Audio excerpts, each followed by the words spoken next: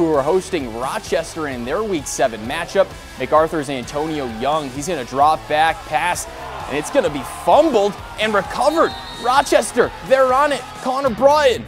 Rochester, it's going to be Tanner Beal now. He's got a long pass, and he's going to find Mason Jacobs, and he's going to be caught, uh, caught, dropped down after a really nice gain there for the Rockets. Rochester now Tanner Beal. He's going to throw it yet again, this time Tristan Stan.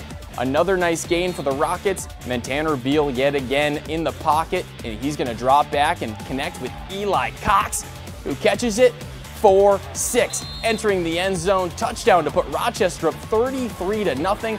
And Rochester would be in control and stay in control of this one. The Rockets, they win big 46 0.